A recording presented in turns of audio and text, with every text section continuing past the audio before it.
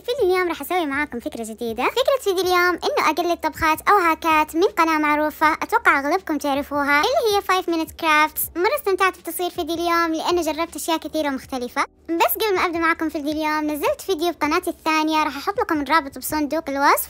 ولا تنسوا تشتركوا بالقناة وتفعلوا جرس التنبيهات. بس خليكم مع فيديو اليوم.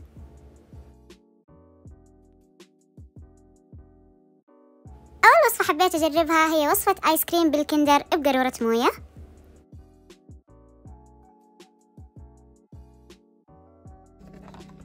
أول حاجة جبت قارورة وقصيتها من تحت بهذه الطريقة. وبعدين هذا الجزء اللي قصيته كمان راح أقصه من النص.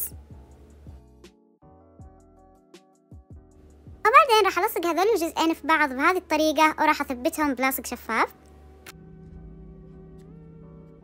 وعلشان أسوي وصفة الآيس كريم أول شي حطيت كريمة خفق وحطيت نوتيلا وحليب مكثف محلى. أما بالنسبة لكمية المقادير ما كانت واضحة بالفيديو علشان كذا أضفت وذقت لحد ما حسيت إنه وصلت للطعم المناسب. وبعدين خفقت لحد ما ثقلت معاي الكريمة.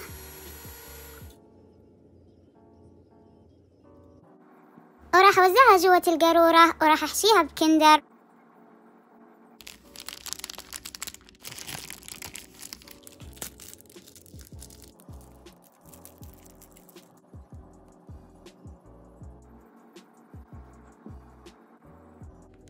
وآخر شي راح أحط فوقها Kinder وحطيتها بالفريزر خليتها لمدة يوم كامل. آه بعد ما طلعتها من الفريزر راح أشيل منها اللصقة وأفكها بهذه الطريقة.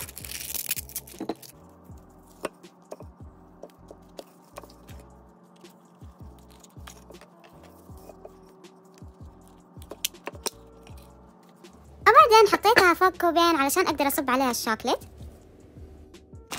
أول حاجة حطيت الشوكليت بصحن وذوبته بالمايكروويف وبعد ما طلعته من الميكروويف حطيت عليه كريمة خفق وخلط. لما حطيت كريمة الخفق بدأت تتكتل الشوكولاتة عشان كذا زدت كمية كريمة الخفق ودخلتها الميكروويف شوي. وخليت الشوكولاتة تبرد شوي. بعدين صبيتها فوق الآيس كريم.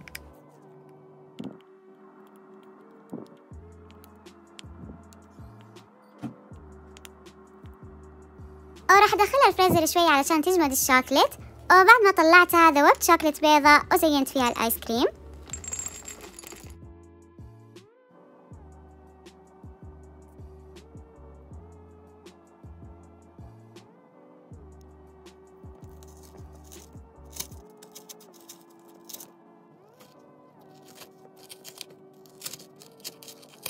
حبيت مرة الفكرة والنتيجة النهائية وكمان طعمها كان مرة رهيب.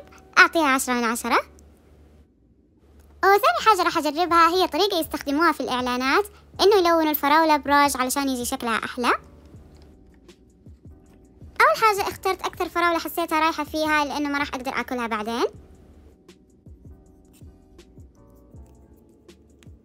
وجبت هذا الراج وراح أبدأ ألون الفراولة فيه. أما الأجزاء اللي صعب يوصل لها الراج راح ألون بفرشة.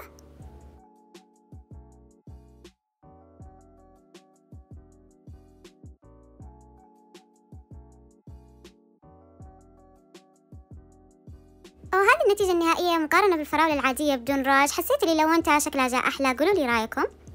وكمان حبيت أجرب براج اللمعة أشوف إذا حيجي فيه فرق أو لا. حسيت شكلها بهذا الراج أحلى من اللي قبل. قولوا لي رأيكم بالتعليقات. وكمان قولوا لي رأيكم بهذا الهاك إذا تحسوه ناجح أو فاشل. وهذه ثالث تجربة راح أجربها. مرة عجبني شكلها وحبيت أسويها.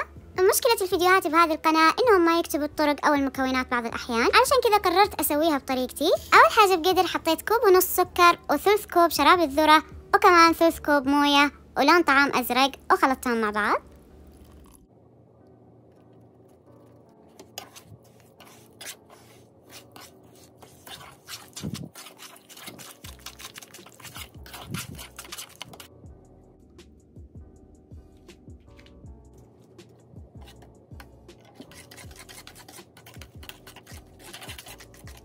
حطيتها على النار لحد ما ذاب معاي السكر تماما.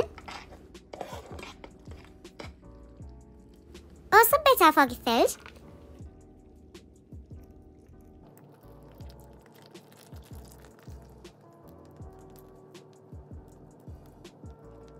فخليها لحد ما تجمد وتبرد. لما جيت أطلعها ما كانت راضية تطلع معاي فخليتها لمدة ربع ساعة علشان يذوب الثلج وأقدر أطلعها بسهولة.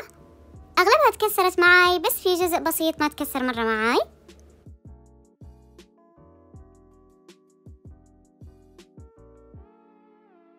حبيت أزين الشكل بحلويات وحلاوة قطن بيضة. وكمان زينته بفراولة وتوت. حبيت الشكل النهائي بس حسيته لو كان أكبر راح يجي أحلى. ورابع حاجة راح أجربها هي طريقة مرة سهلة للكتابة بالشوكليت.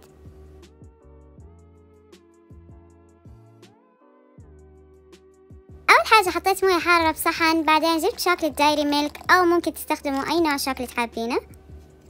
وخليته لحد ما يذوب. أخذ تقريبا أقل من دقيقة. وقصيت جزء مرة بسيط منه وراح أبدأ أكتب فيه على ورق زبدة. حبيت أجرب أكتب اسم القناة. أول كلمة كتبتها حسيت شكلها مو مرة بس آخر كلمتين حسيتهم ضابطين.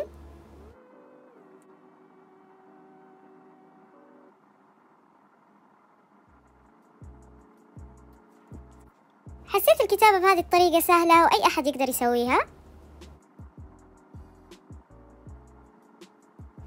الفريزر لحد ما تجمد. بعدين حطيتها فوق كيكة.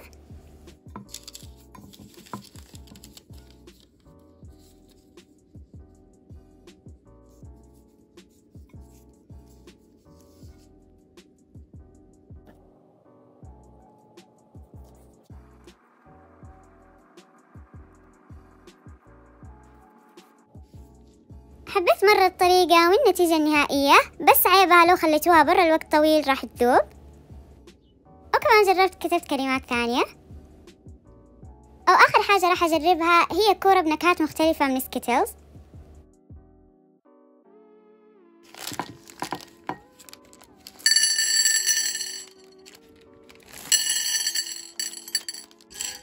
حاجة جبت Skittles وجمعت الألوان المتشابهة مع بعض وبصحن راح أضغط عليها والمفروض إنهم يلصقوا ببعض.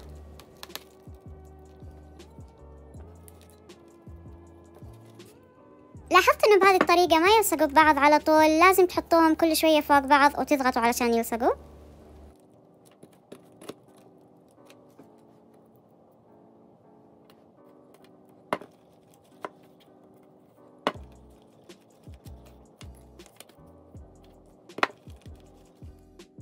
سويت بأكثر من لون مختلف بهذه الطريقة وكمان سويتها بأحجام مختلفة.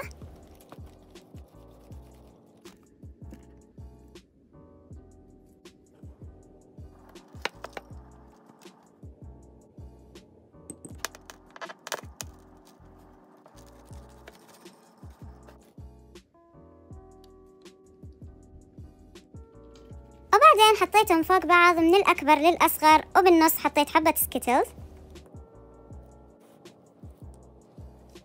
وبعدين كورتها. حسيت بالفيديو إنه راح يكون تكويرها صعب وإنها قاسية بس ابدا ما كانت مرة قاسية.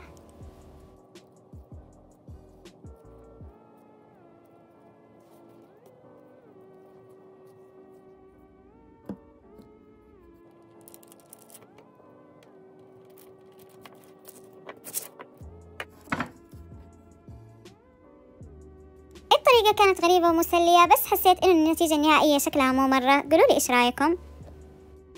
آه بس ها نهاية الفيديو. وقولوا لي بالتعليقات لو حابين أكمل في هذه السلسلة. وإذا أعجبكم الفيديو لا تنسوا تعطوه لايك واكتبوا لي اقتراحاتكم الفيديوهات الجاية. وباي.